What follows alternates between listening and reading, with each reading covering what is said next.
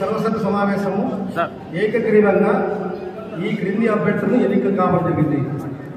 ఒకటి అధ్యక్షులుగా Shri Pandit Srinivasulu retired lecturer Anantapuram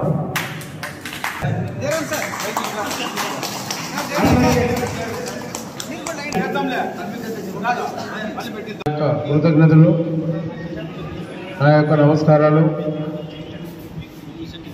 నేను జిల్లా అధ్యక్షుడైనందుకు మీ యొక్క సహాయ సహకారాలు అందించి నన్ను చేసిన దానికి నా యొక్క పదవిని మీ అందరికి ఉపయోగించి ప్రతి ఒక్కరు కూడా సంతోషంగా ఉండేట్టుగా చేస్తారని ఆశిస్తూ ఈ అవకాశం మీకు అందరికీ కూడా ధన్యవాదాలు నేను retired employee HOD of electronics government arts college board of study chairman SK university తర్వాత private schools association honorary president తర్వాత మాకు మూడు ప్రైవేట్ స్కూల్స్ ఉన్నాయి.